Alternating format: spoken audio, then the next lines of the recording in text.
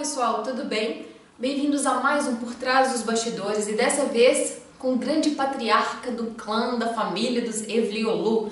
Então hoje a gente vai falar um pouquinho de Metin Çekmez, Burhan, Tomris Inceş, Nadide e o pequeno Efet Nash, Kaan. Vamos lá?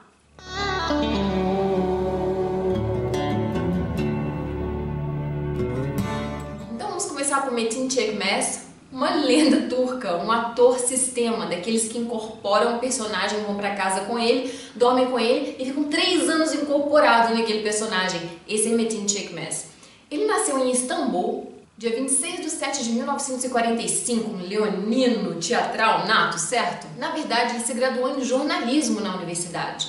Mas ele não quis saber de jornalismo, não era para ele. Ele mal, mal terminou o curso, fez seu estágio e partiu para estudar arte.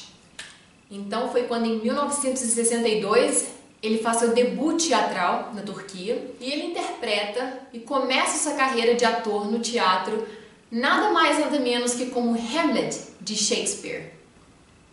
Ele tem 50 anos de carreira no teatro, no cinema e na televisão. Ele prefere ainda o teatro, faz participações na televisão normalmente a convite, porque ele é um ator top de linha. Ator de teatro e ator de filmes de longa-metragem. Ele diz ter crescido e aprendido com figuras icônicas dos filmes de Hollywood como Marlon Brando.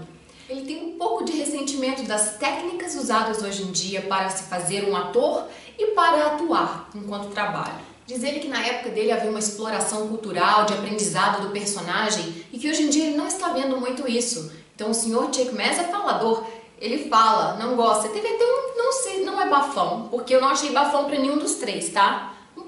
Do Efetinar, então aguarda. É, ele de repente saiu de uma novela que há dois anos atrás. De repente. Tiveram que dar um jeito no personagem dele. Ele quebrou o contrato e saiu da novela. Ele simplesmente falou, porque ele é um cara de muita classe, né, gente? Ele é da velha guarda. Saiu, mas saiu muito elegante, sem dar nome aos bois, sem falar nada. Falou que eu estou partindo dessa novela e partindo feliz. Desejo todo mundo muito bem. Fui muito bem tratado e foi ótima experiência. Mas então foi assim que ele pegou e saiu da novela. Ele disse que ele nunca vai trair a si mesmo, que ele é um tipo de ator e que ele gosta de um tipo de método e é assim que ele trabalha. Se não for assim, não vai rolar. E o último trabalho dele na TV foi em 2014, ano passado, na novela chamada O Dia em que Escreveram o Meu Destino, traduzido para português. E que é dessa foto aqui, e tem uma entrevista que vocês podem ver com ele, tá? Que eu vou deixar o link no box de informação. Está em turco, claro, a última entrevista que ele deu foi agora em março de 2015. Dá um Google Translate que vocês pelo vão entender tudo, mas alguma coisa vocês vão entender, tá? E para terminar, Metin Çekmez diz que a maior bênção que Deus pode dar a um povo é a arte, principalmente o teatro. Esse não é apaixonado com o que faz, né? Vamos embora lá. Tom Brizindesh. Brisinger não nasceu na Turquia, ela nasceu na Bulgária em 1948, porém ela é de raça turca. Ela nasceu em 48 na Bulgária, depois migraram para a Turquia. E assim como Metin Çekmez, ela é atriz sistema de teatro, tá? E ela começou no Teatro Municipal de Istambul. É uma atriz que tem várias premiações reconhecidas na Turquia e internacionalmente, contando no todo cinco premiações, nomeações e foi vitoriosa nas cinco. Ela é topo de linha também, como o Sr. Metin Çekmez. Em 2010, ela interpretou a Shanur, a mãe de Savaş, que era um filho da vida, que gostava de aprontar todas e tal, que não morava em casa mais, que é muito atípico na Turquia, apesar de dizerem o contrário. Então o que que acontece? Um dia morre-se o marido dela, ela é uma viúva negra nessa novela, tá gente? Vocês estão olhando, vocês estão vendo aqui que o negócio é complicado. Ela fez um papel muito pesado nessa novela. Morre marido e morre o, filho dela, no, mesmo assim, num acidente de carro, uma coisa assim.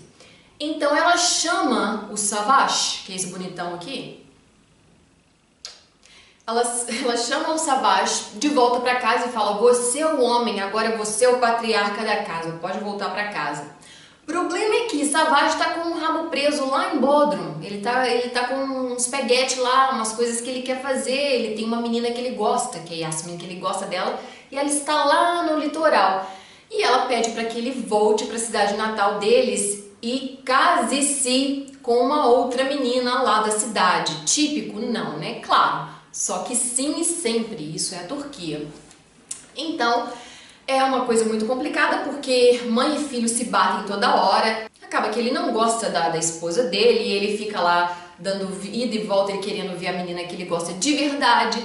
Então, complicada, aquela temática turca sempre recorre na maioria das novelas, se não todas. É? A imposição da família versus aquilo que o indivíduo realmente quer. Atualmente ela está trabalhando na novela Hakon,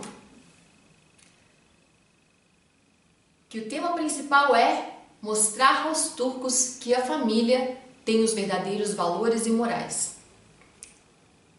E nos mostrar que a família é a nossa maior riqueza. Eles estão tentando resgatar os valores de família nessa novela. Como se não existissem todas as outras novelas turcas. Imagina se eles assistissem as nossas novelas. Vamos passar para o Kaanzinho, o Nash? Vamos lá. O Efet fez o Kaan, filho de Sherazade, quando ele tinha apenas 5 aninhos de idade. Coisa fofa com o tchutchuco da mamãezinha lindo de moer. Olha que coisa mais linda ele. Que coisa mais linda. Mas então, foi por isso mesmo que o Efet Nash, gente louca assim como eu, que queria apertá-lo o tempo inteiro, ele resolveu parar de trabalhar como ator. Então, depois que as gravações de Mil e Uma Noites se resumiram, Efetinar não quis saber mais da mídia. Zero, nada. Parece que ele hoje está bem, ele com carinho das épocas de Mil e Uma Noites. Ele ainda tem contato com a Belguzar Coré e com Halit Agent, principalmente com Halit. Ele diz que eles se comunicam pelo Facebook direto. Não vão tentar achar o Efetinar no Facebook não, porque aquele não vai ser ele. Ele tá com outro nome. Mas Efezinho cresceu, hoje em dia ele está. Esse rapazinho, olha que fofo. Ele está muito fofo, né? Muito, muito fofo. O que me leva a pensar que não foi tanto uma decisão dele, mas sim da mãe dele ou dos pais dele, é que ele faz vídeos para internet. E tem vários vídeos dele que eu vou deixar no box de informação para vocês verem, vídeos caseiros dele interpretando, dele fazendo cenas e uh, caras e bocas, ele fazendo cenas de novelas, tem a novela no fundo e ele interpretando, você vê que ele gosta, né?